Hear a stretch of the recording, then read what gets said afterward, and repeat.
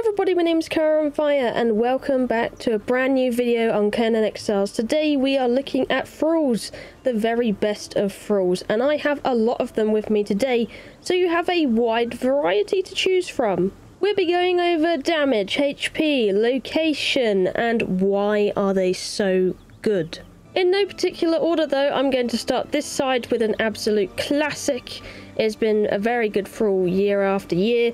is the one, the only, the Dalinsia Snow Hunter, and she is just a very well-rounded thrall. My only issue with her is that she's not always that easy to find. However, she is a very good lady. Um, as most Forgotten Tribe clan is, they usually will start off with 15, 30 in there, and then they have quite a nice vitality, health bonus, etc.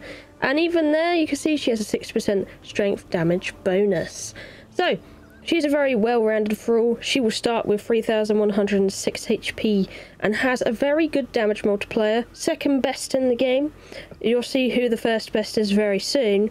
Um, but she's a very, very good thrall, and she has a doppelganger called Dalinsia the Accursed. She is also an absolute clone.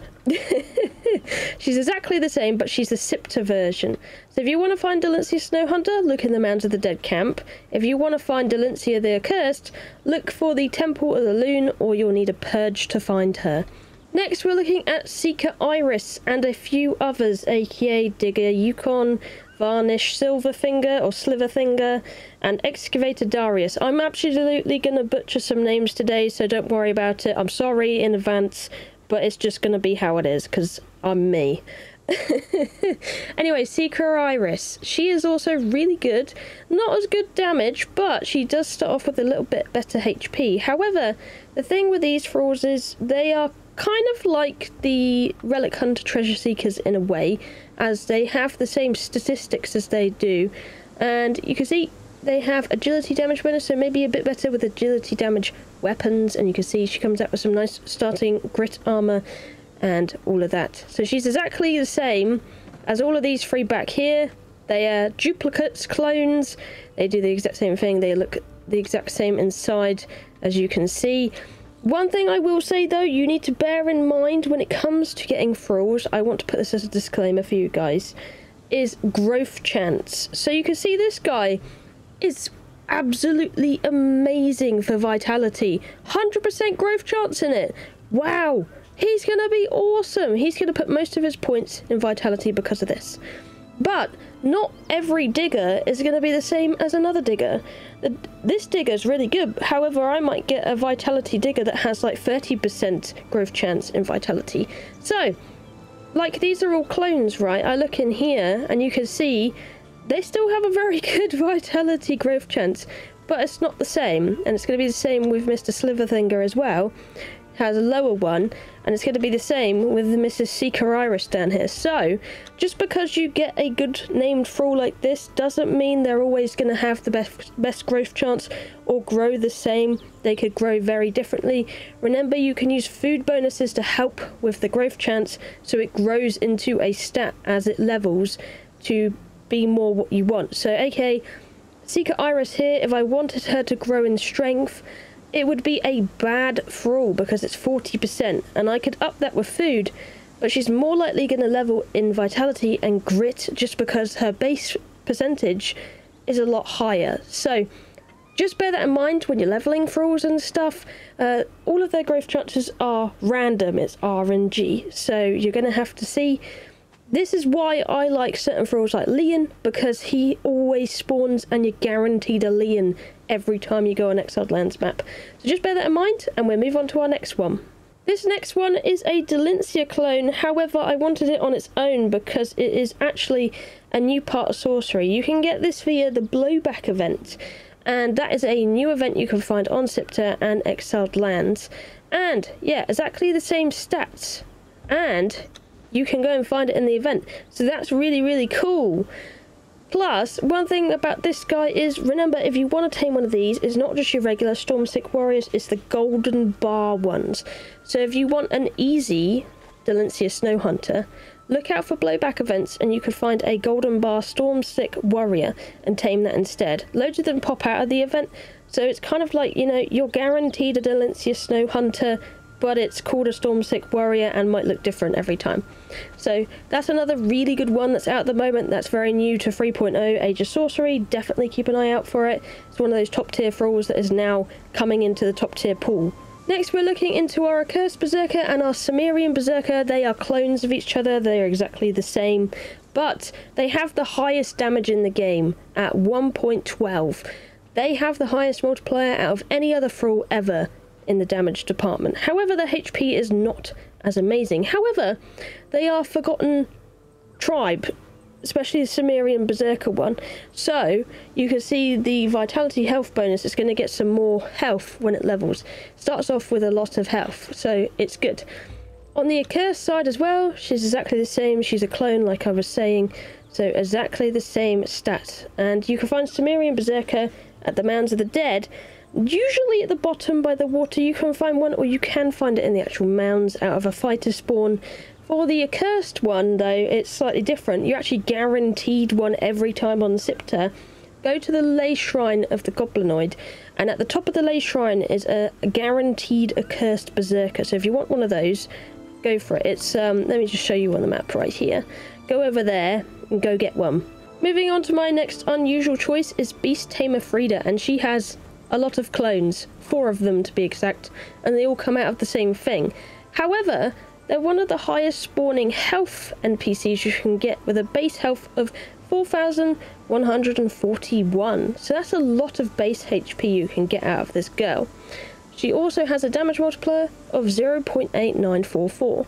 She's really good though because she's forgotten tribes, so she's also going to level really nicely. And uh, yeah, she has a really good health bonus also in there. So, very good one is Beast Tamer Frida. However, not so easy to get. Same with Beast Tamer Ulfran and Varet and Cormag Beastblood, and the same with Lestret the Unsung Hero. They all come out of one purge in particular, one of my favourite purges actually ever, a Clan of Cimmerian Beast Tamer purge, which you can only tend to get on exiled lands, and it's usually just kind of above the Mounds of the Dead, you need a base. However, it's one of the most funnest purges I've done ever. And uh, yeah, you can get these guys. And they usually tend to be like absolute tanks of HP, especially if they roll really well. Which you can absolutely do with the Elixir of Rebirth in 3.0, which you can make with Sorcery in your Alchemist bench. So, these ones are really good if you can get your fingers on them. Uh, they're like kind of Dalinsia, but with more health, a little bit less damage as a base, but really decent. Next, we move on to another fan favourite. It is the Relic Hunter Treasure Seeker coming at 1.118 damage and 3030 HP at a base. We're not looking at it leveled up by the way because it varies a lot and is very random. So we're looking at level 0 for everybody so you know um, what the base stats are and what you're going to get on the tin basically. But Relic Hunter Treasure Seeker is very, very good. You can find them very commonly on the Exiled Lands map. They're all over the Unnamed City. So if you want one, they're absolutely banging and well-rounded of a thrall. Um, and inside we look, they have agility in there. That's my only kind of oof with them because they have 16% in agility damage as a bonus. So they're better kind of with agility weapons. And then you can see they have the Vit and the Grit. So they're nice with armor, nice with health. Um, if only that 20 was in strength. so just bear that in mind. Anyway, moving over to the other side, we'll look at these later. They're my honourable mentions. Um, you're going to see a dancer here as well. That's interesting. Nobody usually shows a dancer, right? But I found a solid one. Um, Daicias the Sharp. He has three other clones. Um, they're all from the Well of Skelos. You can get them. And he comes out at 1.118 damage and 200, uh, sorry, 2,661 HP. So, really good damage stat. Not so amazing in HP, but however, it is a Well of Skelos faction, Votaries of Skelos, so you can see um, they roll out this way 15 strength, 2 agility, 10 vit, 3 grit. So it comes out with 6% strength damage bonus. Surprisingly, nothing in agility. And then the vit health bonus is not amazing, but 30 grit in there, so extra armor bonus and they are kind of like a nice um, I kind of think of Votaries like a person of all trades. They kind of do a bit of everything, so they're that kind of thrall, if you like that kind of thing. And they have one of the highest damage pools as well, so the second most highest damage behind the Berserkers and stuff. Um, and then you have all their friends, so Spinster Marauder, Erii the Ravager, and you have Kisthis Flesh Terror. They're all exact clones, and they actually look like clones as well, which is actually kind of funny. Um, but you can find them in the Well of Skelos on the Exiled Lands map if you want one of those. They are very solid. Next one is I thought I'd put this in. I wanted to put a dancer in. I tried to look for a bearer, but they were all garbage. Um, but this was the most solid dancer I could find, and it's Lianelle. And uh, she's decent, dude. She's decent for a dancer. She has 0.8 damage, so not as amazing as some, but it's really solid for a dancer. And she has a base HP of 2,944. And the best thing about Lianelle is she is a Forgotten Tribe faction lady. So you can see her HP is really good and her strength is also really good. So, if you can find yourself a Lianelle, she's amazing. She also has a clone. She has Lianelle the Accursed, which you can find on Siptah. Now, if you want yourself a Lianelle, though, you're going to have to look at Mounds of the Dead or Stargazer's Crest. Or you might have a chance of getting one in the Cimmerian Berserker Purge. As for Mrs. Accursed over there, you're going to have to look in like accursed camps with dancer spawns.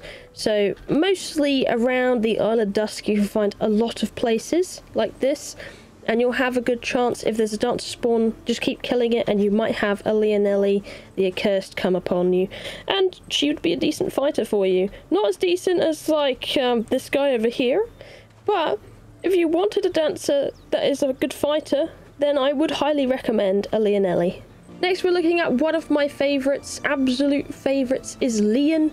He has his clone brother over there, which is Janos, so he's a clone. However, the reason I like Lian, people ask this, why do you like Lian so much? You know, he's not the best, but he's very good. The reason I like Lian is because he spawns every time at Lian's watch, so he's incredibly easy to farm for a good growth chance. So if you see this one, he's kind of stinky apart from his strength. If I wanted a better Vit roll, I can just keep going to Lian's watch and I can get a Lian every time. Like, I don't have to farm painfully, like, for something like a Lianelle that might not always spawn. I can go and get Lian guaranteed. He's a guaranteed good thrall. That's why I like him. He's very, very good. Even Janos is not hard to spawn. You can find him in Nordheimer camps. He's very, very common as well. And you can usually find him in the outskirts of Asagarth. Anyway, damage is 0.97825, so that's really solid damage, and 2087 HP. And he is Heroes of the North, so they do the highest strength stat in attributes as they start off, and 10 in Vit.